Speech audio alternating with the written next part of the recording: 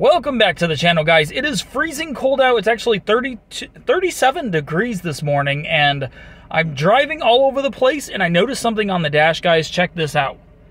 The drive indicator on the dash actually is blinking. So I looked it up, and it says check transmission. I don't know what's going on, if my trans fluid needs to be changed or it's low. I doubt the transmission will know uh, when it needs to be changed. I could be wrong, but on these older CRVs, there's really not much much of a uh, maintenance schedule in the computer that tells you much. From my knowledge, it's basically just check your oil or change your oil. So that is crazy, guys. I'm actually really sad to see this. The transmission is running fine. I have to stress this. The transmission is running great. I would never know that there was a problem but uh, it could actually be a sensor acting up or something. I don't know.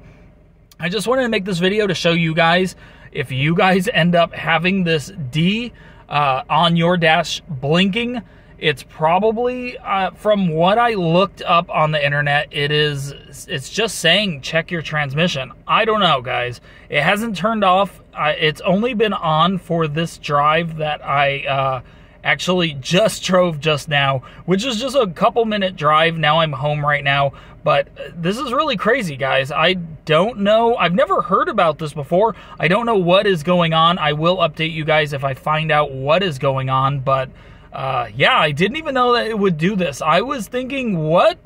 Um, I was thinking, wow, uh, this must be some sort of uh, signal telling me to maybe check my oil or something, but yeah, it's saying on the internet at least it's saying to check my transmission or check my transmission not fluid but i am going to check my fluid. Obviously that's going to be the easiest uh, thing to do. The most simple thing to do is check my transmission fluid see if it is low and it probably does need to be changed anyways. Um, i have a story to tell you guys about my transmission and the fluid uh, probably in an upcoming video because it's something that happened when I was off roading, and uh, it could have something to do with this. I don't know, guys.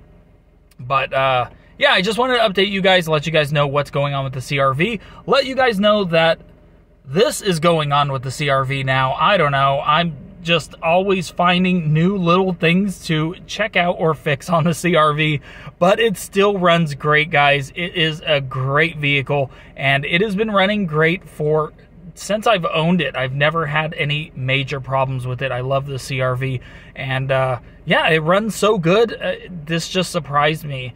Um, so yeah, guys, that's about it for the video. Let me know in the comments below if you guys have ever had this issue, and uh, yeah, I'll see you guys on the next video.